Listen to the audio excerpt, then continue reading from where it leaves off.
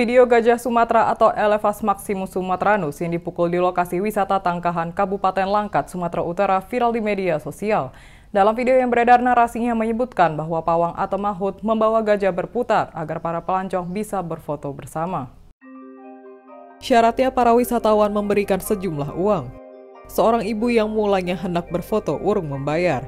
Namun seekor anak gajah kadung mendekati pengunjung. Pawang yang tampak dalam video kemudian memukulinya. Anak gajah itu lantas kembali masuk ke sungai berlindung di bawah induknya. Merespon video viral tersebut, pelaksana tugas Kepala Balai Besar Taman Nasional Gunung Leser, Adi Nurul Hadi, mengakui kejadian di tangkahan tersebut. Anak gajah yang dipukul itu bernama Boni. Usianya belum sampai satu tahun. Adi menyampaikan pihak yang memohon maaf jika kejadian itu menimbulkan persepsi berbeda bagi yang melihatnya. Menurut Adi, tindakan Mahut dengan memukuli anak gajah tersebut bukan menyakiti, melainkan mendisiplinkan gajah. Adi menambahkan tindakan tersebut juga untuk menjaga keamanan gajah dan orang di sekitarnya.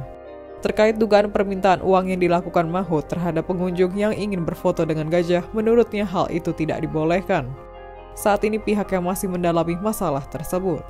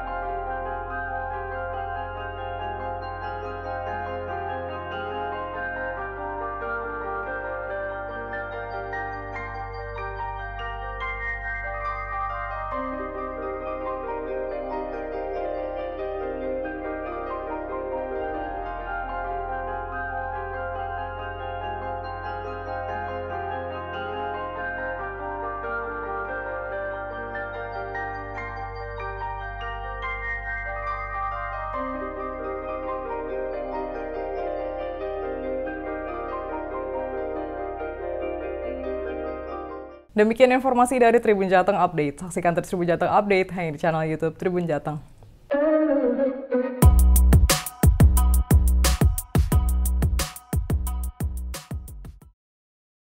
Ikuti update terbaru dari sosial media Tribun Jateng.